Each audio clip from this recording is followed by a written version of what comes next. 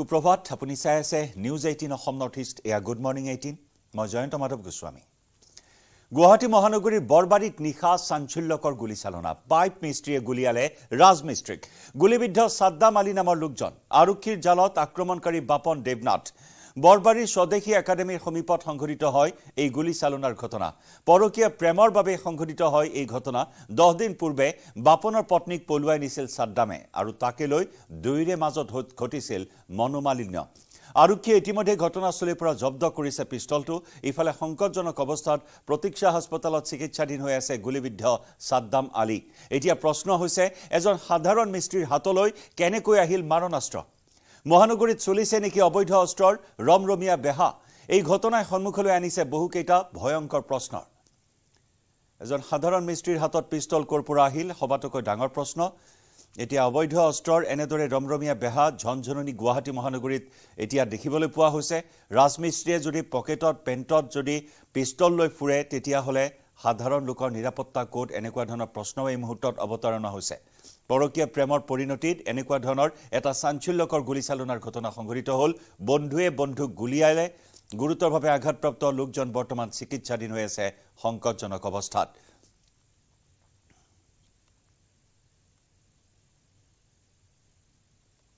ইয়াৰ হোৱাৰ হোৱাৰ পিছত যেতিয়া ল'ৰাটো ইফালে দাউৰিছে দাউৰাৰ পিছত ফ্লেটটো স্বদেশী স্কুল কাগজ এটা ফ্লেট আছে তাতে সোমাইছিল। তাৰপিছত তাতে মানুহ ধৰি পিনি তাক বান্ধিলে। বান্ধি ল'ৰাকেইজনক চিনি পাইছিল নে আপুনি? হা? চিনি পাইছিল নে ল'ৰাকেইজন? ল'ৰাটো সেনেকৈ চিনাকি নহয় আজিয়ে চিনাকি তাক য'ত ধৰি ৰাখিছে বান্ধি পিনি চকীত বহাই ৰাখিছে তেতিয়া পিষ্টল পিষ্টল চব দেখাই দিলে। তেতিয়া বান্ধি ৰাখিলে পুলিচ আহিলে পুলিচ অহাৰ পিছত চব চামজাই দিয়া হ'ল। দিয়াৰ পিছত পুলিচে লৈ গ'ল। যোনটো বাপনৰ আপোনাৰ যোনটো পিষ্টল লৈ আছে তাক চিনি পাওঁ কেতিয়া বাপন। নে? মই ইয়াত যিমান দিন আছোঁ আপোনাৰ আহি থাকে যাই থাকে আৰু ইয়াত দোকানত চাহ খাব আহে এইখিনি মাছ বাপনে। কি কাম কৰে পিলাম্বাৰ কাম কৰে গুৱাহাটীতে গুৱাহাটীতে কৰে আচল ঘৰ ক'ত বাপনৰ তাৰ আকৌ চিন্তা পাব সেইটো গম নাপাওঁ তাৰ ওচৰত যে পিষ্টলটো পাইছে। পিষ্টলটো আগতে আপোনালোকে দেখিছিলে তাৰ লগত? নাই নাই দেখা নাই। দেখা নাই? দেখা নাই। আহ, তেওঁৰ ধৰণ কৰণ এইকেইদিনা স্বাভাৱিকভাৱে আছিল নে বেলেগ হৈছিল? কিন্তু কাম কামটো কৰে তাৰ লগত মই নাথাকোঁ। দেখা দেখি হৈ থাকে কিন্তু মাত বোল দিওঁ কিন্তু এইটো চিষ্টেমত তাৰমানে দেখা নাই তাৰমানে। এনেই দেখাত মানুহজন বা কথা পতাত ভালেই নে মানুহজন কথা কথাটো ভালেই বাৰু। কথা পতাত ভালেই। কথাটো ভাল। ঘটনা সংঘটিত কৰিব বুলি ভাবিছিল? নাই নাই ভবা নাই। আচল ঘৰ ক'ত? তাৰ নাপায়? তাৰ নাজানো। গম নাপাওঁ ন। ঠিক আছে আৰু আহ, যিজনক গুলিয়াইছে হয়। তেওঁক চিনি পায় নেকি নাই নাপাওঁ। তেওঁ নালাগে চিনি পায় যোনটো পিষ্টল লৈ থকা তাকে চিনি পাওঁ। তাক চিনি পায়। তেওঁ ইয়াত ক'ত থাকিছিল? তাক ক'ত থাকে ৰুম এইটো মই নাজানো। হা। এনেই কাম ইয়াত- কৰোঁতে লগ পাইছিল। কি কয়? কাম কৰোঁতেহে লগ পাইছিল কাম কাম কৰোঁতে নহয় চাহ খাওঁতে লগ পাইছোঁ। ইয়াতে ইয়াতে ক'ৰবাত ওচৰতে থাকে বুলি গম পাওঁ। আগতে এইখিনিতে ভাড়া আছিলে তাৰপিছত এতিয়া বৰবাৰীত ভাড়া থাকে। তাৰপিছত পৰহি আমাৰ কাষৰ মানুহ ঘৰত কাম কৰিছিলে তাৰপিছত আজি মই তাক কৈছিলোঁ কাইলৈ আমাৰ ঘৰত পাম্পটো ছাৰ্ভিচিং কৰি যাবি। সি কৰি যাম বুলি কৈছিলে আহি পেলাই গম পাইছে এইটো ঘটনা কৰিলে। আজি লগ পাইছিলে আজি ফোনত কথা পাতি থৈছিলে ঘটনা হোৱা দুই তিনি ঘণ্টা আগত। কিন্তু বন্দুকটো আহিল ক'ৰ পৰা? ডাঙৰ প্ৰশ্ন হৈছে সেইটো আমাৰ এতিয়া। কাৰণ আমি তাৰমানে নিৰাপত্তাত নাইয়ে তাৰমানে। হয়নে নহয়? আপোনালোকে কওকচোন। হে? বন্দুকটোতো এনেই অহা বস্তু নহয়। ক'ৰবাত কিনিবলৈ পোৱা বস্তু নহয় নহয় বন্দুকটো। তাকে লৈ ৰাইজৰ মাজতো প্ৰশ্ন যে বন্দুক ক'ত পালে? এজন মিস্ত্ৰীয়ে বন্দুক ক'ত পালে? বন্দুক লৈ এনেদৰে পিট পিটাই ফুৰিছে যাক লৈ ৰাইজ এই মুহূৰ্তত শংকিত হৈ পৰিছে। এজন সাধাৰণ মিস্ত্ৰীৰ হাতত বন্দুক ক'ৰ পৰা আহিল? অবৈধ মাৰণাস্ত্ৰ বেহাৰ সৈতে ক'ৰবাত জড়িত নেকি এই মিস্ত্ৰীজন? বাপন দেৱনাথ এই বাপন দেৱনাথেই গুলীচালনা কৰে ছাদ্দাম নামৰ যুৱকজনক। বাপনৰ পত্নীক পলুৱাই নিয়াৰ অভিযোগত দুয়োৰে মাজত মনোমালিন্য হয় আৰু তাৰ পিছতে প্ৰতিশোধ ল'বলৈ গুলী ফুটাই সন্ত্ৰাস চলাই গুলীচালনা কৰিলে বন্ধুক সংকটজনক অৱস্থাত প্ৰতীক্ষা হাস্পতালত চিকিৎসাধীন হৈ আছে ছাদ্দাম নামৰ যুৱকজন। এজন মিস্ত্ৰী আনজন ৰাজমিস্ত্ৰী। এতিয়া মিস্ত্ৰীৰ পকেটতো সুলভ হৈ পৰিছে মাৰণাস্ত্ৰ পিষ্টল। সতীৰ্থ সাংবাদিক বিৰিঞ্চি কুমাৰ ডেকাৰ সৈতে সংযুক্ত হৈছোঁ। বিৰিঞ্চি আপোনাৰ পৰা জানিব বিচাৰিম যে মাৰণাস্ত্ৰ ক'ত পালে আৰক্ষীয়ে কি কথা প্ৰকাশ কৰিছে। পিষ্টল লৈ এনেদৰে এজন মিস্ত্ৰীয়ে ঘূৰি ফুৰিছে পিটপিটাই ফুৰিছে মহানগৰী ৰাজপথত। এতিয়া য'তে ত'তেই সুলভ নেকি পিষ্টল গুৱাহাটী মহানগৰীত? অঁ নিশ্চয় জয়ন্ত যে চাওক যিজন আচলতে সেই মাধৱ মাধৱৰ যি হাতত যিটো আচলতে মাৰণাস্ত্ৰ দেখা পোৱা গৈছে সেইটো হেণ্ডমেড কোনো কাৰণত হ'ব নোৱাৰে সেইটো কাৰোবাৰ পৰা হয়তো ক্ৰয় কৰিছে মাধৱে। কাৰণ তেওঁৰ তেওঁৰ পত্নীক যিহেতু সেই ছাদ্দামে পলুৱাই লৈ যোৱা প্ৰায় বিছ পঁচিছ দিন হৈ গৈছে গতিকে তেওঁৰ মনত যিটো আক্ৰোশমূলক ভাৱ আছিল যে ছাদ্দামক যিকোনো প্ৰকাৰে আচলতে তেওঁ হত্যা কৰিব বা সেই তেনেধৰণৰ এটা পৰিকল্পনা কৰিছিল। গতিকে বাপনে সেই পিষ্টলটো কোনো অবৈধভাৱে আচলতে পিষ্টল বিক্ৰী কৰা কোনো চক্ৰৰ লগত যোগাযোগ কৰি আচলতে সেই পিষ্টলটো যে ক্ৰয় কৰিছে সেইটো প্ৰায় নিশ্চিত হৈছে আৰক্ষীয়ে কৈছে। কিন্তু দেখা পোৱা গৈছে মহানগৰীত আচলতে এনেধৰণে অস্ত্ৰ সৰবৰাহ ক'ৰ পৰা হৈছে যে আৰক্ষী অৰ্ধসামৰিক বাহিনীয়ে যি ধৰণে আচলতে মহানগৰীত বেহু পাতিছে বা যি ধৰণে আৰক্ষীয়ে সকলোখিনি ক্ষেত্ৰত মহানগৰীত অপৰাধ নিয়ন্ত্ৰণৰ কাৰণে যি ধৰণৰ আচলতে প্ৰচেষ্টা হাতত লৈছে ইয়াৰ মাজত আচলতে বাপনৰ দৰে এগৰাকী ৰাজমিস্ত্ৰীয়ে হঠাৎ ইমান সহজতে কেনেধৰণে এনে মাৰণাস্ত্ৰ ক্ৰয় কৰিব পাৰিলে সেয়া যথেষ্ট এটা প্ৰশ্নৰ উদ্বেগৰ বিষয়। আৰু দেখা পোৱা গৈছে যোৱাকালিৰ দিনটোত যিটো ঘটনা সংঘটিত হ'ল যে দিনৰ পোহৰতে আচলতে সেই বাপনে শ্ৰাদ্ধামক শূন্য দূৰত্বৰ পৰা আচলতে গুলী গুলী কৰিছিল আৰু তেওঁ বৰ্তমান সংকটজনক অৱস্থাত যি হস্পিটেলত আছে। এই সমগ্ৰ বিষয়টোক লৈ যে দিছপুৰ আৰক্ষীয়ে এই মুহূৰ্তত তদন্ত কৰি আছে। গতিকে দেখা পোৱা গৈছে যে হঠাৎ মহানগৰীত এনেকুৱা ধৰণৰ আচলতে কোনো চক্ৰ আছে নেকি? যি যাক আচলতে কিছু চল্লিছৰ পৰা ষাঠি হাজাৰ টকা আচলতে দিলেই সেই তেনেধৰণৰ এটা মাৰণাস্ত্ৰ তেওঁলোকে আহি যোগান ধৰে বা কোনো যোনে বিচাৰে আচলতে সেই যিকোনো ব্যক্তি আচলতে ক্ৰয় কৰিব পাৰে। তেনেধৰণৰ এখন বজাৰ গঢ় লৈ উঠিছে নেকি? এই মুহূৰ্তত। প্ৰশ্ন উঠিছে যে আৰক্ষীয়ে এই ক্ষেত্ৰত যথেষ্ট কঠোৰ হ'ব লাগিব? যে- স্থানৰ পৰা আচলতে য'ৰ পৰা এনেধৰণৰ অবৈধ মাৰণাস্ত্ৰ সৰবৰাহ হয় সেই সৰবৰাহ হোৱা পথসমূহ চিনাক্ত কৰিব লাগিব ক্ৰয় কৰিছে নে অবৈধ মাৰণাস্ত্ৰৰ বেহাৰ সৈতে জড়িত এই মিস্ত্ৰীজন নিশ্চয়কৈ এই কথাখিনি আচলতে এই মুহূৰ্তলৈকে স্পষ্ট হোৱা নাই। আৰক্ষীয়ে যিহেতু যোৱাকালি গ্ৰেপ্তাৰ কৰিছে এইগৰাকী বাপনক আৰু সোধপোছ কৰি আছে। হয়তো আজি দিনৰ ভাগত সেই সকলোখিনি কথা স্পষ্ট হ'ব যে বাপন আচলতে কাৰ লগত জড়িত কোনো চক্ৰৰ লগত জড়িত নে কাৰো কোনোবা চক্ৰৰ পৰা আচলতে টকাৰ বিনিময়ত সেই মাৰণাস্ত্ৰটো ক্ৰয় কৰিছিল। সেই সকলোখিনি কথা যিহেতু সোধা পোছা কৰি আছে হয়তো আজি দিনৰ ভাগত সকলোখিনি কথা স্পষ্ট হ'ব যে আচলতে বাপনে কেতিয়াৰ পৰা চাদ্দামক টাৰ্গেট কৰিছিল পত্নীক পলুৱাই নিয়াৰ পাছৰ পৰা নে সেই সমগ্ৰ বিষয়টোক লৈ আচলতে কোনো ৰহস্যজনক ঘটনা ইয়াৰ অন্তৰালত আছে সেই সকলোখিনি কথা বহুখিনি অপৰাধজনিত ঘটনা বিৰিঞ্চি গুৱাহাটী মহানগৰীত ধাৰাবাহিক ৰূপত সংঘটিত হৈছে। আজি কাৰোবাৰ পৰা ক্ৰয় কৰিছে পিষ্টল অবৈধ পিষ্টল ক্ৰয় কৰি নিজৰ পকেটত ঘূৰি লৈ ঘূৰি ফুৰিছে। কাইলৈ হয়তো এই মিস্ত্ৰীজনে চুপাৰী কিলাৰৰ ৰূপতো অৱতীৰ্ণ হ'ব পাৰে। নিশ্চয়কৈ আচলতে তেনেধৰণৰ ঘটনা মহানগৰীত আচলতে সুলভ হৈ পৰিছে। দেখা পোৱা গৈছে কালি কালি দিনটোতে অন্য এটা ঘটনা যিহেতু পোহৰলৈ আহিছিল যে মহানগৰীৰ এটা অঞ্চলত এজন ব্যক্তিক পিষ্টল দেখুৱাই তেওঁৰ পৰা ধন দাবী কৰিছে। মহানগৰীত এনেধৰণৰ প্ৰায় ঘটনা সংঘটিত হৈছে। নিশাৰ ভাগত দুবছৰ পূৰ্বে সংঘ- এবছৰ পূৰ্বে সংঘটিত এটা হত্যাকাণ্ডত দুই চুপাৰী কিলাৰ আচলতে জালত পৰিছে। আৰক্ষী গতিকে এনেধৰণৰ যে চুপাৰী কিলাৰ এই মুহূৰ্তত মহানগৰীত সক্ৰিয় হৈ আছে অবৈধভাৱে মাৰণাস্ত্ৰ যিসকলে ব্যৱসায় কৰে সেইসকল সক্ৰিয় হৈছে। গতিকে এনে ক্ষেত্ৰত মহানগৰ আৰক্ষীয়ে যি ধৰণে আচল ব্যৱস্থা গ্ৰহণ কৰিব তাতকৈ আৰু তাতোকৈ তাতোকৈ ডাঙৰ কথা বিৰিঞ্চি যে মিস্ত্ৰীসকল মিস্ত্ৰীসকলেই কিন্তু গুৱাহাটীকে ধৰি বিভিন্ন প্ৰান্তত বহু অপৰাধজনিত ঘটনা সংঘটিত কৰে বা অপৰাধজনিত কাণ্ডত লিপ্ত হৈ পৰে। বহু হত্যাকাণ্ডত লিপ্ত হৈ পৰে। কোকৰাঝাৰত এহাল দম্পতী অভিযন্তা দম্পতীক অতি নৃশংসভাৱে এজন মিস্ত্ৰীয়ে হত্যা কৰিছিল। যদি গুৱাহাটী মহানগৰীৰ কথা কওঁ দিনৰ ভাগত নিৰ্মাণ কাৰ্যত ব্যস্ত আৰু নিশাৰ ভাগত তেওঁলোকে চুৰি কাণ্ডত লিপ্ত হয় ডকাইতি কাণ্ডত লিপ্ত হয় হাতে হাতে পিষ্টল দেখু লৈ এতিয়া ভয় ভাবুকি দেখুৱাই কাৰোবাৰ পৰা ধন কাঢ়ি লয় কাৰোবাৰ পৰা মোবাইল কাঢ়ি লয়। গতিকে মিস্ত্ৰীসকলৰ প্ৰতি কিন্তু ইয়াৰ পূৰ্বৰে পৰা বিভিন্ন ধৰণৰ সন্দেহ আছে আৰু সেই মিস্ত্ৰীৰ দ্বাৰাই এই ভয়ংকৰ অপৰাধ সংঘটিত হোৱাত কিন্তু সেই সন্দেহ আকৌ বৃদ্ধি পোৱা পৰিলক্ষিত হৈছে। নিশ্চয় জয়ন্ত যে যিসকল আচলতে তেনেধৰণৰ ৰাজমিস্ত্ৰী আছে বা মিস্ত্ৰী আছে তেখেতসকলে আচলতে যিকোনো ব্যক্তিৰ ঘৰলৈ যাব পাৰে বা তেওঁলোকৰ ঘৰত যিহেতু দিনৰ ভাগত কাম কাজ কৰে তেতিয়া আচলতে কোনো যিসকল ব্যক্তিৰ ঘৰত ধন টকা পইচা থকাৰ উমান পায় বা কোনো এগৰাকী ব্যক্তি অকলশৰে থকাৰ তেওঁলোকে উমান পায় সেই ব্যক্তিজনক এই মিস্ত্ৰীসকলে আচলতে টাৰ্গেট কৰে। পৰৱৰ্তী সময়ত নিশাৰ ভাগত যেতিয়া তেওঁলোকৰ এটা গেংটো সক্ৰিয় হয় সেই ব্যক্তিজনক আচলতে মাৰণাস্ত্ৰ বা চোকাস্ত্ৰ দেখুৱাই ডকাইতি বা এনেধৰণৰ কাৰ্যত লিপ্ত হোৱা দেখা পোৱা গৈছে। গতিকে সেইসকলে যিসকল ব্যক্তি যিকোনো এগৰাকী সাধাৰণ ব্যক্তি সেই ব্যক্তিজনৰ ঘৰলৈ আচলতে যাব নোৱাৰে। কিন্তু মিস্ত্ৰী হিচাপে তেওঁ যিহেতু তাত কাম কৰে বা তেওঁলোকে সেই সমগ্ৰ ঘৰৰ চাৰিবেৰ আচলতে তেওঁলোকে গম পায় কোনফালে সোমাব পাৰে। চি চি টিভি কোনফালে আছে সকলোখিনি যেতিয়া দেখা পোৱা যায় তাৰ পাছত তেওঁলোকে টাৰ্গেট কৰে যে সেই ব্যক্তিজনক নিশা তেনেকে টাৰ্গেট কৰি ধন সোণ সকলোখিনি লুটপাট কৰিব পৰা যায়। এনেদৰে মিস্ত্ৰীৰ দ্বাৰা গুৱাহাটী মহানগৰীত অপৰাধৰ সংখ্যা ক্ৰমাৎ বৃদ্ধি পাইছে আৰু এই গুলীচালনাৰ ঘটনাই এনে বহুত দিশ উন্মোচিত কৰিব হয়তো। আৰক্ষীৰ সঠিক তদন্তত এইজন মাধৱ আহ, দেৱনাথ নামৰ ৰাজমিস্ত্ৰীয়ে আৰু কি কি কৰ্মত অপকৰ্মত অপৰাধত লিপ্ত আৰক্ষীৰ জেৰাত আৰক্ষীৰ তদন্তত সেই দিশসমূহো হয়তো স্পষ্ট হৈ পৰিব। ধন্যবাদ বিৰিঞ্চি এইখিনি তথ্য আপুনি আগবঢ়ালে।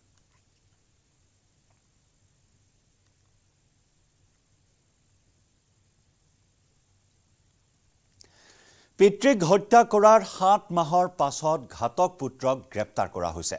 হাতীগাঁও আৰক্ষীয়ে মহানগৰীৰ পৰা গ্ৰেপ্তাৰ কৰিলে শ্বৰীফুদ্দিনক হত্যাকাণ্ডৰ বলি হোৱা অৱসৰপ্ৰাপ্ত অভিযন্তা জাভেদ আলীৰ পুত্ৰ হৈছে শ্বৰীফুদ্দিন দুহেজাৰ তেইছ চনৰ সাতাইছ জুলাইৰ পুৱা হাতীগাঁৱৰ ফ্ৰেঞ্চ পথত ঘাতকৰ নৃশংসতাৰ বলি হৈছিল জাভেদ আলী। মৰ্ণিং ৱাক কৰিবলৈ ঘৰৰ পৰা ওলাই অহা জাভেদ আলীক ৰাজপথতে মৰিয়াই মৰিয়াই হত্যা কৰিছিল ঘাতকৰ দলে। ইতিমধ্যে আৰক্ষীয়ে গ্ৰেপ্তাৰ কৰিছিল জাভেদ আলীৰ হত্যাত জড়িত চাৰি ঘাতকক। মঙলবাৰে সন্ধিয়া পুত্ৰ শ্বৰীফুদ্দিনৰ লগতে আৰক্ষীয়ে গ্ৰেপ্তাৰ কৰিছে ভুক্তভোগীৰ ভতিজা ছাইদুল ইছলামক। দুহেজাৰ তেইছ চনৰ সাতাইছ জুলাইত জাভেদ আলীক হত্যা কৰাৰ পাছৰে পৰা আত্মগোপন কৰি আছিল জাভেদ আলীৰ পুত্ৰ শ্বৰীফুদ্দিন আৰু ভতিজাক ছাইদুল ইছলাম। অৱসৰপ্ৰাপ্ত অভিযন্তা জাভেদ আলীক সম্পত্তিৰ লোভত চুপাৰী কিলাৰৰ হতুৱাই হত্যা কৰিছিল পুত্ৰৰ লগতে ভতিজাকে।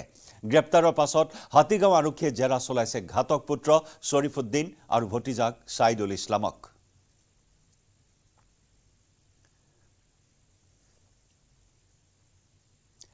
এইবাৰ আহিছোঁ নিৰ্বাচনী বতৰালৈ। নিৰ্বাচনৰ পূৰ্বে ৰাজ্যৰ ৰাজনীতিত নতুন অংক। সদনত চৰকাৰক সমৰ্থন দিয়া বি পি এফৰে কংগ্ৰেছৰ গোপন বৈঠক। নিৰ্বাচনৰ পূৰ্বে মাজ নিশা মঙলবাৰে নিশা গুৱাহাটীৰ খানাপাৰাৰ এখন হোটেলত গোপনে মিলিত হ'ল একালৰ দুই মিত্ৰ দল কংগ্ৰেছ আৰু বি পি এফ সমাগত লোকসভা নিৰ্বাচনক লৈ হোৱা আলোচনাত ভাগ লয় এ পি চি চিৰ সভাপতি ভূপেন বৰাই। ইপিনে বি পি এফক প্ৰতিনিধিত্ব কৰে বি পি এফৰ নেতা দুৰ্গা দাস বড়ো আৰু ৰিহন দৈমাৰীয়ে। জানিব পৰা মতে আলোচনাত কোকৰাঝাৰ আৰু দৰং ওদালগুৰি সমষ্টি বিচাৰিছে বি পি এফে লক্ষণীয়ভাৱে বিজেপি নেতৃত্বাধীন মিত্ৰজোঁটে বি পি এফৰ প্ৰধান প্ৰতিদ্বন্দ্বী দল ইউ পি পি এলক কোকৰাঝাৰ সমষ্টিত দিছে। বিশেষকৈ কোকৰাঝাৰত কংগ্ৰেছ মিত্ৰজোঁটৰ সহায়ত ইউ পি পি এলক পৰাস্ত কৰাৰ কৌশল ৰচনা কৰিছে বি পি এফে। একেদৰে বি টি চিৰ একাংশ সমষ্টিৰে গঠন হোৱা দৰং ওদালগুৰিতো দলীয় প্ৰাৰ্থীক লৈ কৌশল ৰচনা কৰিছে বি পি এফে। বিপৰীতে বিৰোধীৰ মিত্ৰজোঁটত ইটোৰ পিছত সিটো দলৰ অসহযোগিতাৰ সময়ত বি পি এফৰে মিত্ৰতা হ'লে কংগ্ৰেছৰ বাবে এয়া এক ইতিবাচক খবৰ। চি আই ডিৰ চমনত সঁহাৰি জনাবলৈ সাজু হৈছে দেৱব্ৰত শইকীয়া। লোকসভা নিৰ্বাচনৰ ব্যস্ততাৰ মাজতে আজি চি আই ডিৰ কাৰ্যালয়ত হাজিৰ হ'ব নাজিৰাৰ বিধায়ক দেৱব্ৰত শইকীয়া। ৰাহুল গান্ধীৰ ভাৰত জোৰো ন্যায় যাত্ৰা কালত ৰাজহুৱা সম্পত্তি ধ্বংস কৰাৰ অভিযোগত চি আই ডিয়ে চমন দিছে দেৱব্ৰত শইকীয়াৰ লগতে প্ৰদেশ কংগ্ৰেছৰ সভাপতি ভূপেন বৰাক। আজি দেৱব্ৰত শইকীয়াৰ লগতে সাত মাৰ্চ অৰ্থাৎ কাইলৈ ভূপেন বৰাকো চমন জাৰি কৰিছে চি আই ডিৰ কাৰ্যালয়ে। মোক আগতে এদিন মাতিছিলে তেতিয়া মই আমাৰ ইয়ালৈ মন্ত্ৰী বিমল বৰা ডাঙৰীয়া আহিছিলে কাৰণে মই সেই সময়ত থাকিব নোৱাৰিলো। যোৱাকালিও মই খবৰ দিছিলো যে মন্ত্ৰী মহোদয়ে পাঁচ আৰু ছয় তাৰিখ দুদিন যদি নাজিৰাত কাৰ্যসূচী লয় মই উপস্থিত থাকিব নোৱাৰিম। কিন্তু মন্ত্ৰী মহোদয়ে কাইলৈ আমাৰ ইয়াত উপস্থিত নাথাকে আজিয়ে গোটেইখিনি কাম কৰিলে। মোৰ সমষ্টিৰ কেইখনমান বিদ্যালয় নতুনকৈ আমি পুঁজি পাইছো। সেই গতিকে মই আজি ফ্ৰী হৈ গলো। মই এতিয়া চি আই ডিয়ে মতামতে অহা কাইলৈ গুৱাহাটীত হাজিৰ হ'ম ৰাতিপুৱা এঘাৰ বজাত। বঙাইগাঁও দেউৰীপাৰাত নিশা সংঘটিত হয় এটা ভয়ংকৰ পথ দুৰ্ঘটনা। তীব্ৰবেগী ফৰ্চুনাৰে মহতিয়ালে যাত্ৰীবাহী টেম্প। এই দুৰ্ঘটনাত থিতাতে নিহত এজন আহত দহগৰাকী যাত্ৰী। দুৰ্ঘটনাত মৃত্যু হয় বিশু চৌধুৰী নামৰ লোকজনৰ। আহত দহজনৰ ভিতৰত চাৰিজনৰ অৱস্থা অতি সংকটজনক। আহত ছয়জনক বঙাইগাঁও চিভিলত ভৰ্তি কৰোৱা হৈছে। আহত আন চাৰিজনক উন্নত চিকিৎসাৰ বাবে ব্যক্তিগত খণ্ডৰ হাস্পতালত ভৰ্তি কৰোৱা হৈছে। দুৰ্ঘটনা সংঘটিত কৰিয়েই ফৰ্চুনাৰ বাহনসহ পলায়নৰ চেষ্টা চালকৰ পৰৱৰ্তী সময়ত উত্তৰ শালমৰা আৰক্ষীয়ে জব্দ কৰে ফৰ্চুনাৰখন। ফৰ্চুনাৰখনত আছিল তিনি সুৰাসক্ত যুৱক এগৰাকী যুৱতী। ঘটনা সন্দৰ্ভত বঙাইগাঁও আৰক্ষীয়ে তদন্ত অব্যাহত ৰাখিছে। টেম্পোত অহা লোকসকল আছিল কেটাৰিং গ্ৰুপৰ সদস্য। লোকে এইটো চাইডে গৈ আছিলে ফৰ্চুনাৰ এখন খুন্দাই এনেকে চব মহতিয়াই গুচি গৈছে। তাৰপিছত? ফৰ্চুনাৰখনৰ যোৱা বুলি ইনফৰমেশ্যন আগত জনোৱা হৈছে। আগত মানে শালমাৰাত। আৰু অলৰেডি পুলিচ থানালৈ জনোৱা হৈছে। লংকাত সুদখোৰৰ কবলৰ পৰা উদ্ধাৰ কৰা হৈছে ঘৰ মাটি। ভুক্তভোগীয়ে অভিযোগ দিয়াৰ এঘণ্টাৰ ভিতৰতে তৎপৰ হোৱা হোজাই আৰক্ষীয়ে কৰিছে ঘৰ মাটি দখল। লংকা পৌৰসভাৰ অধীনস্থ ন নম্বৰ ৱাৰ্ডৰ মীৰা দাস নামৰ মহিলাগৰাকীয়ে দুবছৰ পূৰ্বে সুদখোৰ সুৰজ দেৱনাথ দুলু দেৱনাথ সুমন দেৱনাথ একেটা পৰিয়ালৰে এইকেইজন আৰু এই লোককেইজনৰ পৰা সুদত লৈছিল এক লাখ টকা। পৰৱৰ্তী সময়ত ভুক্তভোগী মহিলাগৰাকীয়ে সুদখোৰকেইটাক ডেৰ লাখ টকা দিয়াৰ পিছতো সুদখোৰে কৌশলগতভাৱে মাটি বাৰী জব্দ কৰি থৈছিল। সেই ঘটনা সংক্ৰান্তত আৰক্ষীক জনোৱাত আৰক্ষীয়ে মহিলাগৰাকীক লগত লৈ সুদখোৰৰ কবলৰ পৰা মাটিখিনি উদ্ধাৰ কৰি মহিলাগৰাকীক চমজাই দিয়ে। আমাৰ আমাৰ মাননীয় মুখ্যমন্ত্ৰী মহোদয়ৰ নিৰ্দেশ আছে আৰু ডি জি পি মহোদয়ৰ নিৰ্দেশ আছে। গতিকে আজি এই মানুহগৰাকীয়ে আহি আমাক লগ ধৰিছিলে লগ ধৰাৰ পিছত আমি গম পালোঁ যে তেওঁ যোৱা জানুৱাৰী মাহতে তেওঁ ডেৰ লাখ টকা ধাৰলৈ লৈছিলে সুদত। তাৰপিছত তেওঁ যদিও মানে গোটেইখিনি টকা দিছে কিন্তু তথাপিও সুদ খুৰাই আহি কি কৰিলে তেওঁৰ ভেটি মাটি তেওঁ ভেটি মাটিৰ পৰা তেওঁক যোৱা জানুৱাৰী মাহত আহ, মানে ভেটি মাটিৰ পৰা তেওঁক আঁতৰাই পঠিয়ালে খেদি পঠিয়ালে। গতিকে আমি সেইটো আইনমতে আমি যিটো আমাৰ আইনৰ পৰিধিৰ ভিতৰত থাকি আমি মানুহগৰাকীক তেখেতৰ ভেটি মাটি আজি মানে ঘূৰাই দিবলৈ চেষ্টা কৰিছোঁ। আৰু মাননীয় মুখ্যমন্ত্ৰী মহোদয়ে যিহেতু এইটো ক্ষেত্ৰত যথেষ্ট আমাক নিৰ্দেশনা দিছে বা তৎপৰ হৈছে গতিকে আমি তেখেতৰ মানে ভিজনটো ফ'ল' কৰি আমি মানুহগৰাকীক আজি আমি এঘণ্টাৰ ভিতৰতে প্ৰায় এঘণ্টাৰ ভিতৰতে আমি তেখেতৰ ভেটি মাটি আমি ঘূৰাই দিছোঁ। সুতখোৰে আবদ্ধ কৰি ৰাখিছে? সুদখোৰা দখল কৰি লৈছিলে তেওঁৰ মাটি মাটি মাটি ভেটি সুদ দিয়া নাই বুলি মানে। আমি তেওঁলোক এতিয়া পলাতক অৱস্থাত আছে। এতিয়া আমি এঘণ্টাৰ আগতে ঘটনাটোৰ বিষয়ে আমি অৱ- অৱগত হৈছিলোঁহে। মানুহগৰাকীয়ে মোক লগ ধৰিছিলে। লগে লগে আমি অচিক যাৱতীয় নিৰ্দেশ দিওঁ। আমি নিজেও আহোঁ অচি আহে। শিলচৰত উৎকোচ লৈ গ্ৰেপ্তাৰ হ'ল চৰকাৰী কৰ্মচাৰী। ক্ষেত্ৰ সহায়ক অভিজিত কৰক গ্ৰেপ্তাৰ চি এম ভিজিলেন্সে গ্ৰেপ্তাৰ কৰে দুৰ্নীতিগ্ৰস্ত কৰ্মচাৰীজনক। উৎকোচ লৈ হাতে লোটে গ্ৰেপ্তাৰ কৰে অভিজিত কৰক। শিলচৰ উন্নয়ন পৰিষদৰ কাৰ্যালয়ত এই অভিযান ক্ষেত্ৰ সহায়কজনক গ্ৰেপ্তাৰৰ পাছত অভিযান চলাই চি এম ভিজিলেন্সে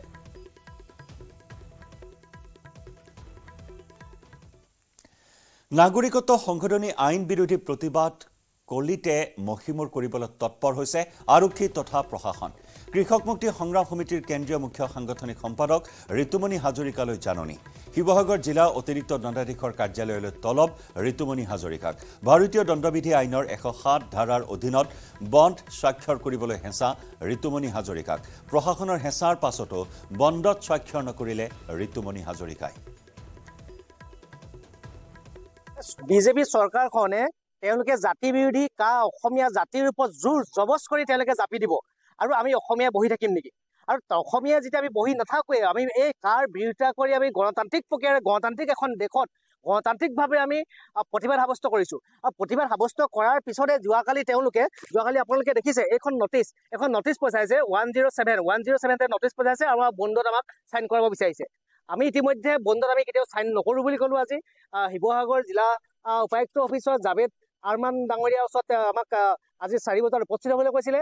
আমি কৃষক মুক্তি সংগ্ৰাম সমিতি ছাত্ৰ মুক্তি সংগ্ৰাম সমিতি আৰু অসম জাতীয় যুৱ ছাত্ৰ পৰিষদৰ আমাৰ সতীৰ্থসকল আমি তেখেতৰ ওচৰত উপস্থিত হ'লোঁ। আৰু তেখেতক আমি তেওঁলোকে যে আমাক দুই লাখ টকাৰ জৰিমনাৰ এই বণ্ডত চহী কৰাৰ যিখন মানে আমালৈ নটিচ পঠাইছিল আমি তেখেতক সুধিলোঁ যে আমাক কিয় এখন নটিচ পঠা হ'ল? আমি এনে কি ক্ৰাইম কৰিলোঁ যে আমি কি গণতন্ত্ৰ বিৰোধী কাম ক্ৰাইম কৰিলোঁ?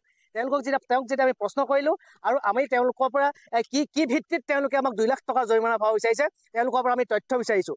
তেওঁক আমি এই কাগজখন দি পেলাই তেওঁ ৰিচিভ কৰাই আনিছোঁ আৰু তেওঁ আমাক তথ্য সহকাৰে দিয়ক আমি কি যুক্তিত অগণতান্ত্ৰিক কাম কৰিছোঁ। যেতিয়া যেতিয়ালৈকে তেওঁলোকে আমাক তথ্য সহকাৰে নিদিব আৰু কোনো বণ্ডত অসম চৰকাৰে বা জিলা প্ৰশাসনে আমাৰ পৰা বণ্ড চাইন ল'ব নোৱাৰে আমি নিদিওঁ। কৃষক মুক্তি সংগ্ৰাম সমিতিৰ গাত এক টোপাল তেজ থকা পৰ্যন্ত গণতান্ত্ৰিক বিৰোধী চৰকাৰৰ অগণতান্ত্ৰিক কাম কাজৰ বিৰুদ্ধে আমি প্ৰতিবাদ সাব্যস্ত কৰি যাম আৰু তাত তাত যদি তেওঁলোকে আমাক যদি জোৰ জবজ কৰি জেলত ভৰাবলৈ বিচাৰে আমি জেলত জেল যাবলৈ সাজু আছোঁ। যদি তেওঁলোকে আমাক গুলীয়াই হত্যা কৰিম বুলি ভাবিছে আমি গুলী খাবলৈ সাজু আছোঁ। তিনিচুকীয়াত মঙলবাৰে শিলাবৃষ্টিৰ ফলত হঠাৎ স্তব্ধ হৈ পৰিল জনজীৱন। তিনিচুকীয়া চহৰৰ বাট পথসমূহত বৰফৰ টুকুৰাৰে ভৰি পৰাত কিছু লোকৰ বাবে আনন্দ উপভোগ দিয়াৰ লগতে কিছু লোকৰ বাবে দৈনন্দিন কাম কাজ আদি কৰাত ব্যাঘাত জন্মিল। ইয়াত তিনিচুকীয়াত প্ৰচণ্ড শিলাবৃষ্টি। আৰু এই প্ৰচণ্ড শিলাবৃষ্টিৰ মাজত এজাক কিশোৰ কিশোৰীয়ে উমলা পৰিলক্ষিত হ'ল। কেৱল কিশোৰ কিশোৰীয়ে নহয় আৰক্ষীও নামিল শিলবুটলাত ইয়াত তিনিচুকীয়া দৃশ্য আমি দেখুৱাইছোঁ। মঙলবাৰে হঠাৎ আহিল এজাক শিলাবৃষ্টি। এই শিলাবৃষ্টিয়ে জনজীৱন স্তব্ধ কৰি তুলিলে যদিও একাংশক আমোদ দিলে। শিলাবৃষ্টি উপভোগ কৰিলে একাংশই কিন্তু আন একাংশৰ দৈনন্দিন কাম কাজ বিঘ্নিত কৰি তুলিলে এই জাক শিলাবৃষ্টিয়ে।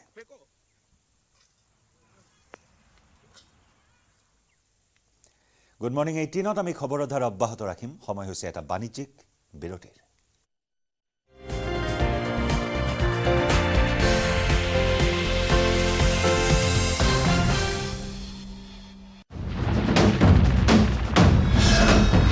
ভাৰতৰ গৌৰৱ গৌৰৱ গোটেই বিশ্বতেই ইয়াৰ সন্মান ষ্ট্ৰং মানে মাইথান ষ্টীল লোকসভা নিৰ্বাচনক লৈ আজি ৰাজ্যৰ সকলো জিলা আয়ুক্ত আৰু আৰক্ষী অধীক্ষকৰে বৈঠকত মিলিত হ'ব নিৰ্বাচন আয়োগৰ দল।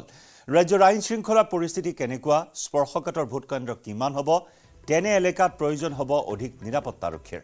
পাহাৰীয়া জিলাসমূহত উগ্ৰপন্থীৰ সক্ৰিয়তা কেনেকুৱা নিৰ্বাচন কেতিয়া অনুষ্ঠিত কৰা উচিত এনেধৰণৰ বিভিন্ন বিষয়ে আলোচনা কৰিব নিৰ্বাচন আয়োগে। ইতিমধ্যে মঙলবাৰে জনতা ভৱনত নিৰ্বাচন আয়োগে ৰাজ্যৰ মুখ্য সচিব Pawan Borthakur D G P G P Singh আৰু ৰাজ্যিক মুখ্য নিৰ্বাচনী বিষয়া অনুৰাগ গোৱেলৰ সৈতে আলোচনাত মিলিত হয়। আজিৰ বৈঠকৰ পাছতে নিৰ্বাচনৰ দিন সন্দৰ্ভত চূড়ান্ত সিদ্ধান্ত গ্ৰহণ কৰিব নিৰ্বাচন আয়োগে।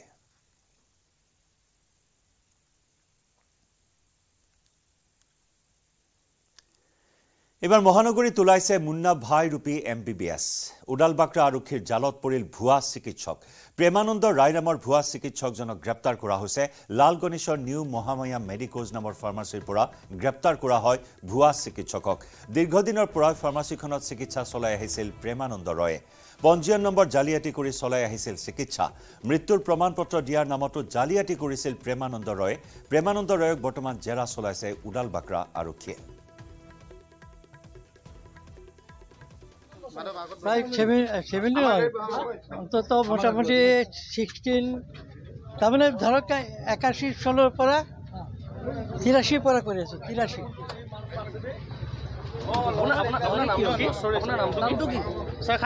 প্ৰেমানন্দ ৰায় প্ৰেমানন্দ ৰায় দিছোঁ। মোৰ যিটো অথৰিটি আছে সেইটোকে মই দিছোঁ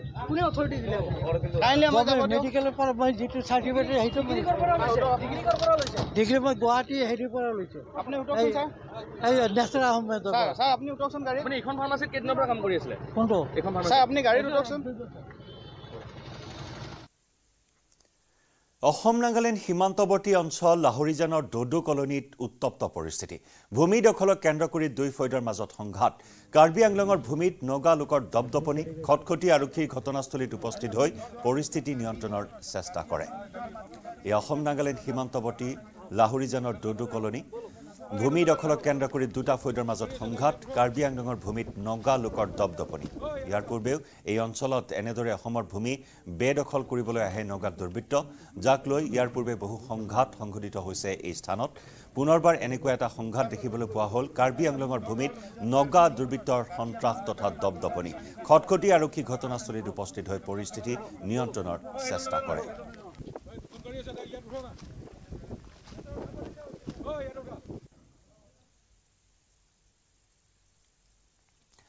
মদাহীয়ে আক্ৰমণ কৰিলে কৰ্তব্যৰত আৰক্ষীক। যান বাহন আৰক্ষীক আক্ৰমণ সুৰাসক্ত লোকৰ। বোকাখাটৰ ৰাজহুৱা বাছ আস্থানত ঘটিল এই ঘটনা। ৰাইজে লপা থপা দিলে আক্ৰমণকাৰী মদাহীক। আৰক্ষীয়ে আটক কৰি থানালৈ নিয়ে লোকজনক।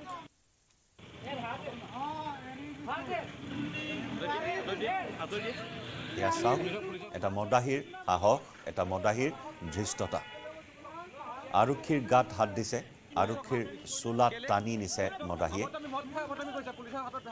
যান বাহন আৰক্ষীক আক্ৰমণ কৰিছে সুৰাসক্ত লোকে। বোকাখাটৰ ৰাজহুৱা বাছ আস্থানত ঘটিল এই ঘটনা।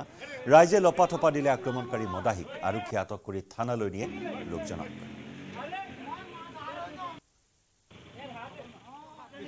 কেলে? অবতামি মদ খাই অবতামি কৰিছে পুলিচৰ হাতত কৰ হয় এইটো। আমি চিনা কৰা। পুলিচক হাত কেলে? অবতামি মদ খাই অবতামি কৰিছে পুলিচৰ হাতত কৰ হয় এইটো? আমি চিনা কৰা। প্ৰধানমন্ত্ৰীৰ আগমনৰ পূৰ্বে যোৰহাটত মুখ্যমন্ত্ৰী। লাচিত মৈদামত প্ৰস্তুতিৰ বুজ ল'লে মুখ্যমন্ত্ৰীয়ে। ন মাৰ্চত হোলোঙাপাৰাত প্ৰধানমন্ত্ৰী উন্মোচন কৰিব বীৰ লাচিতৰ সুবিশাল সুউচ্চ প্ৰতিমূৰ্তি। প্ৰতিমূৰ্তি উন্মোচনৰ পাছত জনসভাত ভাগ ল'ব প্ৰধানমন্ত্ৰীয়ে দুদিনীয়া ভ্ৰমণসূচীৰে আঠ মাৰ্চতে অসমত উপস্থিত হ'ব প্ৰধানমন্ত্ৰী। আঠ মাৰ্চৰ নিশাটো কাজিৰঙাত কটাই পুৱাই ৰাষ্ট্ৰীয় উদ্যানখন পৰিদৰ্শন কৰিব। আৰু ন মাৰ্চত হোলোঙাপাৰাত লাচিতৰ প্ৰতিমূৰ্তি উন্মোচন কৰিব প্ৰধানমন্ত্ৰী নৰেন্দ্ৰ মোদীয়ে মোদীৰ আগমনৰ বাবে প্ৰস্তুতি বৰ্তমান কেনেদৰে চলিছে সেই প্ৰস্তুতিৰ বুজ ল'লে মুখ্যমন্ত্ৰী ডক্টৰ হিমন্ত বিশ্ব শৰ্মাই যোৰহাটত।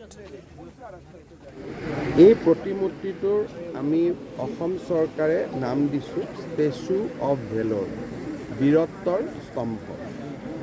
আৰু এই প্ৰতিমূৰ্তিটো উদ্বোধন কৰাৰ আগতে তেখেতে সমাধি তৰ্পণ কৰিব লাচিত বৰফুকনৰ প্ৰতি। তাৰ পৰা আহি ইয়াতে তেখেতে প্ৰতিমূৰ্তিটো উদ্বোধন কৰিব কৰি মেলেং মেটেলিৰ সভালৈকে যাত্ৰা কৰিব আৰু মেলেং মেটেলিত ৰাজহুৱা সভাত তেখেতে তেওঁ আঠ তাৰিখে ৰাতি আহি কাজিৰঙাত থাকিব। ৰাতিপুৱা ডেৰ দুই ঘণ্টা সময় তেওঁ কাজিৰঙা অভয়াৰণ্যত তেখেতে ভ্ৰমণ কৰিব কাজিৰঙাৰ সৌন্দৰ্য উপভোগ কৰিব। প্ৰধানমন্ত্ৰী নৰেন্দ্ৰ মোদী বিশ্বৰ আটাইতকৈ জনপ্ৰিয় নেতা। তেখেতে কাজিৰঙাত আহি যিমানটা টুইটছ বা ইনষ্টাগ্ৰাম কৰিব গোটেইকেইটাই কাজিৰঙাৰ বাবে এটা ডাঙৰ এটা মোৰ ক'ব গ'লে এটা এট্ৰেকশ্যন পইণ্ট হ'ব। বিশ্ব পৰ্যটনৰ মই দেখিছোঁ যে প্ৰধানমন্ত্ৰী ডাঙৰীয়া যি স্থানলৈ যায় সেই স্থানটো চাবৰ কাৰণে তাৰপিছত মানুহৰ ভিৰ লাগি থাকে বহুত দিনলৈ। গতিকে মই ভাবোঁ যে কাজিৰঙা এনেই আমাৰ ঐতিহ্যৰ ক্ষেত্ৰত প্ৰধানমন্ত্ৰী মোদী ডাঙৰীয়াৰ ভ্ৰমণ আৰু নিশা কাজিৰঙাত যাপনৰ এটা ডাঙৰ মেছেজ এটা গোটেই পৃথিৱীলৈ কঢ়িয়াই লাচিত বৰফুকনৰ প্ৰতিমূৰ্তিটো তেখেতে উদ্বোধন কৰাৰ লগে লগে মানুহৰ মনত গোটেই পৃথিৱীতে চিন্তা হ'ব লাচিত বৰফুকন কোন গুগল কৰিব লাচিত বৰফুকনৰ বিষয়ে পঢ়িব। কাৰণ প্ৰধানমন্ত্ৰী ডাঙৰীয়া এজন এতিয়া বিশ্ব নেতা। তেওঁক টুইটাৰ ফেচবুক ইনষ্টাগ্ৰামত গোটেই পৃথিৱীৰ মানুহে ফ'ল' কৰে। গতিকে প্ৰধানমন্ত্ৰী ডাঙৰীয়াতকৈ ভাৰতৰ ডাঙৰ প্ৰতিনিধি কোনোৱেই নাই। গতিকে তেখেতে লাচিত বৰফুকনৰ ষ্টেচু এটা ইনগ্ৰেট কৰিছে। লাচিত বৰফুকন কোন? মানুহৰ জানিবৰ কাৰণে উদ্গ্ৰীৱ হ'ব। আৰু এতিয়া লাচিত বৰফুকনৰ বিষয়ে ছ'চিয়েল মিডিয়া বা গুগলত বহুত মেটেৰিয়েল আছে। লগে লগে মানুহে চাব পাৰিব।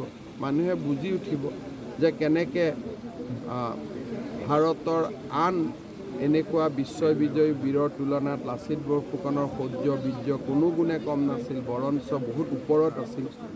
গোটেই ভাৰত আৰু পৃথিৱীৰ মানুহে বুজি পাব। একেবাৰে এতিয়াতো আমি য'ত থিয় হৈ আছোঁ ফিফটি পাৰ্চেণ্টত থিয় হৈ আছোঁ। কাৰণ ইয়াতে মিউজিয়াম হ'ব ইয়াতে অসমৰ বুৰঞ্জীৰ ইতিহাস থাকিব লাচিতৰ আৰু আহোমসকলৰ ইতিহাস থাকিব। চাৰিওফালে প্লে'গ্ৰাউণ্ড হ'ব চাৰিওফালে বিভিন্ন অপেন এয়াৰ থিয়েটাৰ আদি হ'ব। এতিয়াতো হোলোঙাপাৰত যিটো দেখিছোঁ বিছ শতাংশও দেখা নাই। আৰুতো আশী শতাংশ ইয়াত যোগ হ'ব গৈ আছে। গতিকে এইটো অসমৰ নাম্বাৰ ওৱান টুৰিজিম স্পট হ'ব। আৰু লাচিতৰ বীৰত্বক মানুহে শ্ৰদ্ধাৰে আহি ইয়াতে স্মৰণ কৰিব পাৰে। ভূমাফিয়াক সকিয়নি মুখ্যমন্ত্ৰীৰ এইবাৰ ৰিলছ বনাই ভূমি বেদখল কৰা দুষ্ট চক্ৰক সকিয়ালে মুখ্যমন্ত্ৰীয়ে। উল্লেখযোগ্য যে বিগত কিছুমাহ ধৰি ভূমাফিয়াৰ বিৰুদ্ধে চৰকাৰে অভিযান চলোৱাই নহয় কাৰাগাৰলৈ নিক্ষেপ কৰিছে ৰাজহ বিষয়া অধিবক্তা কৰ্মচাৰীকে ধৰি বহু দালালক। মাটি দালালে হওক কাকো আমি এৰি দিয়া নাই।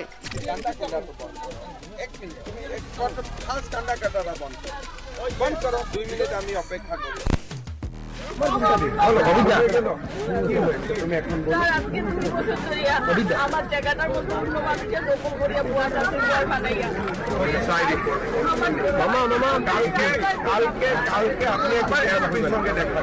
আমাৰ ৰাজ্যখনত দুখীয়া দৰিদ্ৰ মানুহে যাতে গৌৰৱেৰে সৈতে জীয়াই থাকিব পাৰে। তাৰ কাৰণে আমি সমাজ ব্যৱস্থাৰ মাজত থকা দালাল ব্যৱস্থা আদি সম্পূৰ্ণৰূপে আমি অসমত উৎখাত কৰাৰ বাবে কাম হাতত লৈছোঁ। স্যারের সঙ্গে সঙ্গে আমার কাছারের এসপি স্যারের কাছে আমার পিটিশনটা আমি লিখিতভাবে দিয়েছিলাম, এটা স্যারের কাছে দিয়েছেন এবং আমি কোশ্চেন চব্বিশ ঘণ্টার ভিতরে এটা অ্যাকশন নেওয়ার লেগে। যেভাবেই স্যারে কইছেন এইভাবেই আমার চব্বিশ ঘণ্টার ভিতরেই আমার অ্যাকশনটা হয়েছে। আমি অনেক খুশি। এখন এসপি স্যারে গত দিনে এখানে আইয়া ভেরিফিকেশন করছে। এই আমার সার্কেল অফিসারও আইছিলাম সেটেলমেন্ট অফিসারও আইছিল। আইয়া ভেরিফিকেশন করার পরে সব কিছু দেখছেন যে আমরা এখানে কী কী জায়গা আছে।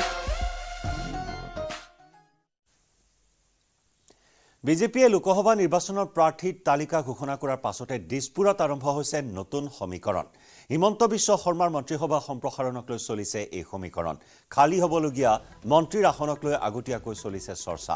পৰিমল শুক্লবৈদ্য লোকসভালৈ গ'লে তেওঁৰ স্থানত মন্ত্ৰীসভাত কৃষ্ণেন্দু পাল স্থলাভিষিক্ত হোৱাৰ সম্ভাৱনা। কৃষ্ণেন্দু পাল বৰাক উপত্যকাৰ পাথাৰকান্দি সমষ্টিৰ বিধায়ক।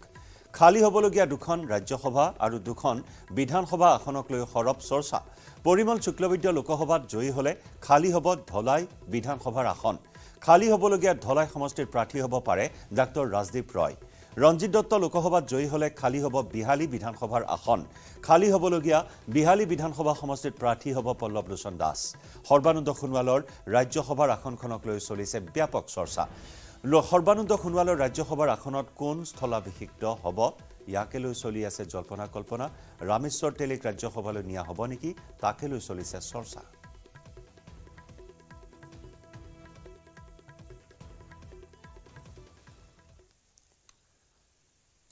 আজি ৰাজ্যৰ তিনিখন জিলাত বিকাশৰ যাত্ৰা। লখিমপুৰ ডিব্ৰুগড় আৰু তামোলপুৰত চৰকাৰৰ বিকাশৰ যাত্ৰা। তিনিখন জিলাত এহেজাৰ পাঁচশ বাৱন্ন কোটি টকাৰ প্ৰকল্পৰ শুভাৰম্ভ শিলান্যাস আৰু ভূমি পূজন কৰা হ'ব। লখিমপুৰ আৰু ডিব্ৰুগড়ত উপস্থিত থাকিব মুখ্যমন্ত্ৰী হিমন্ত বিশ্ব শৰ্মা। আনহাতে তামোলপুৰত মন্ত্ৰী ইউ জি ব্ৰহ্ম আৰু প্ৰমোদ বড়োৰ উপস্থিতিত শুভাৰম্ভ কৰা হ'ব এই প্ৰকল্প। লখিমপুৰৰ বিহপুৰীয়া জিলা চিকিৎসালয়ৰ শিলান্যাস কৰিব মুখ্যমন্ত্ৰীয়ে। এশখন বিচনাযুক্ত জিলা চিকিৎসালয়ৰ শিলান্যাস কৰিব মুখ্যমন্ত্ৰীয়ে। এই চিকিৎসালয়ত তিনিটা মডিউলাৰ অস্ত্ৰোপচাৰ কক্ষ থাকিব। এশ বাৰ কোটি টকা ব্যয় সাপেক্ষে নিৰ্মাণ হ'ব জিলা চিকিৎসালয়। ইয়াৰ লগতে লখিমপুৰৰ চুকুলি ভৰিয়াত সন্মিলন কেন্দ্ৰ উদ্বোধন কৰিব মুখ্যমন্ত্ৰীয়ে। এশ বিছখন আসন সম্বলিত আলোচনা কক্ষ তিনিটা ভি আই পি কক্ষ অত্যাধুনিক বিশ্ৰাম কক্ষ থাকিব ষোল্ল কোটি টকা ব্যয়েৰে নিৰ্মাণ হ'বলগীয়া এই সন্মিলন কেন্দ্ৰত। লখিমপুৰত ছশ ঊনাশী কোটি টকা ব্যয়েৰে আন ছয়চল্লিছটা প্ৰকল্পৰ শুভাৰম্ভ আৰু শিলান্যাস কৰা হ'ব। ইয়াৰ পিছতে ডিব্ৰুগড়ত মুখ্যমন্ত্ৰীয়ে মুকলি কৰিব সাতশ পঞ্চল্লিছ কোটি টকাৰে ছয়সত্তৰটা প্ৰকল্প। নাহৰকটীয়াত নামচাং চাহ বাগিচা পি এম এ ৱাই গ্ৰামীণ কলনী মুকলি কৰিব মুখ্যমন্ত্ৰীয়ে। এই পি এম এ ৱাই গ্ৰামীণ কলনীত থাকিব বহু সুবিধা। পি এম এ ৱাইৰ অধীনত এশ তেৰটা আৱাসৰ এক ক্লাষ্টাৰ স্থাপন কৰা হৈছে। জলজীৱন মিছনৰ অধীনত নলযুক্ত পানী যোগানৰ ব্যৱস্থাও আছে এই কলনীত।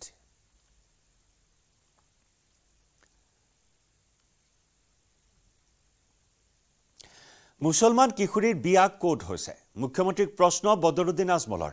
ইছলামধৰ্মী কিশোৰীৰ বিয়া হোৱাৰ সঠিক তথ্য নিদিলে মুখ্যমন্ত্ৰীৰ বিৰুদ্ধে গোচৰ তৰাৰ হুংকাৰ দিলে বদৰুদ্দিন আজমলে। এই ৰিপৰ্ট আগবঢ়াই গুড মৰ্ণিং এইটিনৰ পৰা বিদায় লৈছো। নমস্কাৰ। বাচ্চাৰ কাৰণে ভাবক পাঁচ ছয় বছৰৰ ছোৱালীৰ বিয়া এইখন অসমত মই কৰিব নিদিওঁ। মুখ্যমন্ত্ৰী হিমন্ত বিশ্ব শৰ্মাক প্ৰত্যাহ্বান A I U D F প্ৰধান বদৰুদ্দিন আজমলৰ। মুখ্যমন্ত্ৰীৰ বিৰুদ্ধে কেছ কৰিবলৈ গৈ আছো অসমৰ কত সম্পন্ন হৈছে ছয় সাত বছৰীয়া মুছলমান ছোৱালী বিবাহ असम में चाइल्ड मैरिज नहीं होने दूंगा जब तक मैं जिंदा हूँ মুখ্যমন্ত্ৰী হিমন্ত বিশ্ব শৰ্মাই এজনী ছয় সাত বছৰীয়া ছোৱালীৰ বিবাহৰ তথ্য ৰাজহুৱা কৰক মুখ্যমন্ত্ৰীয়ে সেইদিনা হাউচক মিছগাইড কৰিছে যে মুছলমানে ছয় বছৰ আঠ বছৰ ছোৱালী বিয়ে দিয়ে সেইটো আমি চেলেঞ্জ কৰিছো যদি তেখেত এটা অসমৰ এম এল এ যাব পাৰিছে আৰু মই আপোনালোকৰ মাধ্যম কৰিছোঁ। মুখ্যমন্ত্ৰী হিমন্ত বিশ্ব শৰ্মাই যদি ৰাজ্যত ছয় সাত বছৰীয়া মুছলমান ছোৱালীৰ বিবাহৰ তথ্য ৰাজহুৱা কৰিব নোৱাৰে তেন্তে ৰাজ্যৰ মুখ্যমন্ত্ৰীৰ আসনৰ পৰা পদত্যাগ কৰক হিমন্ত বিশ্ব শৰ্মাই। দাবী A I U D F প্ৰধান বদৰুদ্দিন আজমলৰ। যদি এটা কেছ এটা ডিমাইড কৰে মই পলিটিকেল চেলেঞ্জ লৈ ল'ম। আৰু যদি দেখাব নোৱাৰে তেখেত ৰিজাইন কৰক চি এম আৰে অলপ বাচ্চাৰ কাৰণে ভাবক অসম বিধানসভাৰ মজিয়াত মুখ্যমন্ত্ৰী হিমন্ত বিশ্ব শৰ্মাই মুছলমান মহিলাক লৈ প্ৰকাশ কৰিছে কেতবোৰ বিভ্ৰান্তিকৰ তথ্য ৰাজ্যত কোনো কাৰণত ছয় সাত বছৰীয়া ছোৱালীৰ সম্পন্ন হোৱা নাই বিবাহ। সমাজত বিষমাস্ম বিয়পোৱা মুখ্যমন্ত্ৰী শৰ্মাৰ সদনৰ এনে মন্তব্যক লৈ নিৰ্বাচনৰ পূৰ্বে আজমলে গোচৰ তোৰাৰ হুংকাৰ মুখ্যমন্ত্ৰী মুখ্যমন্ত্ৰীৰ বিৰুদ্ধে কেছ কৰিবলৈ গৈ আছো। আগত পিছত। আনি কি? গুৱাহাটীৰ পৰা বলেন ভট্টাচাৰ্যৰ ৰিপৰ্ট নিউজ এইটিন অসম